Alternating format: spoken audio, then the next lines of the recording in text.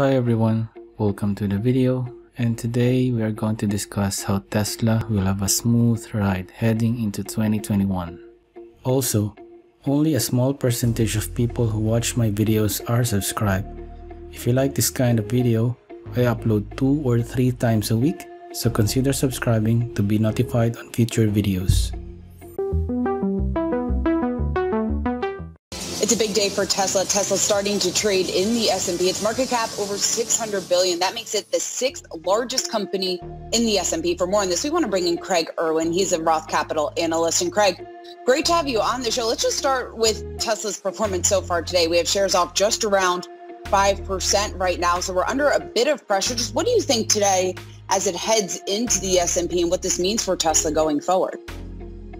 So obviously the buy side is treating this as a negative catalyst and all the funds, uh, the index funds that have the opportunity to accumulate in advance of an index addition have basically done so. So uh, many of the funds will be um, on the sidelines waiting uh, probably as long as they can to, to accumulate the rest of the shares they have to. Some of them have a month, some of them have a full quarter. Um, and yeah, it's $80 billion gross in, in buying, but uh, you know, this is, the catalyst is over. I have to disagree on this one by Craig. Him saying the catalyst is over because Tesla joined the S&P 500? Tesla's just getting started regardless if Tesla joins the S&P 500 or not.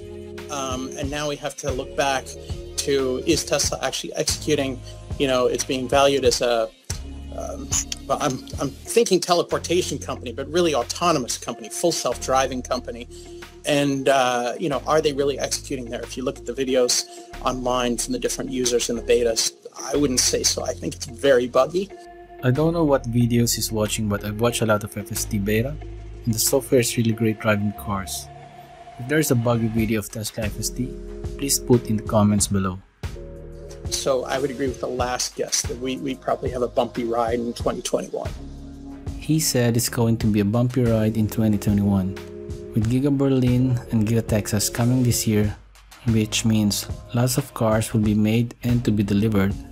I'd say it will going to be a smooth ride in 2021. If we are to go back on December of 2019, Flashback. You see this nice record number here, but it looks like you don't think this is going to last. What do you think of Tesla? Yeah, so it's a tough day to be a bear with the stock at, uh, at new highs, right? but the reality is, you know, traders traded, Tesla's trading on hopes and dreams right now. And, you know, I'm not a weather vane. I'm an analyst. My job is to break out the calculator. We're going to see decelerating growth. Um, the expectations from the bulls around China are far too high. And, uh, you know, competition is coming that's real. So yes, China is going to be a great market for them, but I think the number for 2020 is more like 50,000 units, not 150,000 units. And I think that things are getting pretty frothy up here. It really does deserve to be a $250 stock. This was December 2019. Giga Shanghai is almost finished. Who in their right mind predicts that Giga Shanghai will only produce 50,000 cars for the whole year?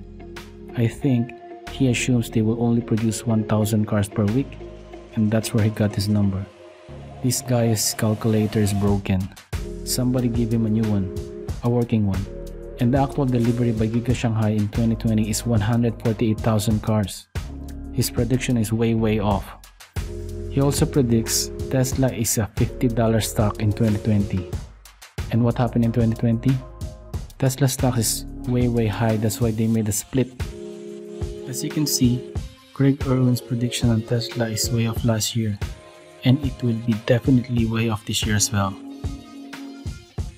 That's it for today guys. If you don't want to miss more Craig Irwin's prediction, don't forget to subscribe and hit the bell notification. Thanks and have a good one.